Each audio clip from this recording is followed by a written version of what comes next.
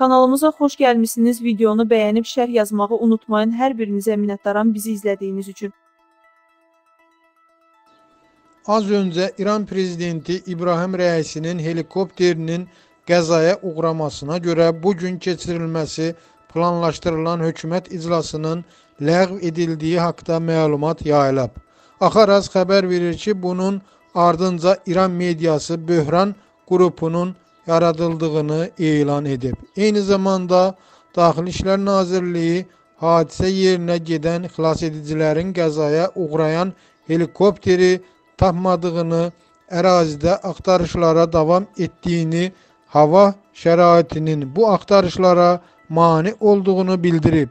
Digər tərəfdən Mehr Agentliyi də İbrahim Rəisinin sağ olduğu və avtomobillə Təbrizə doğru hərəkət etdiyi barədə xəbəri saytından silib.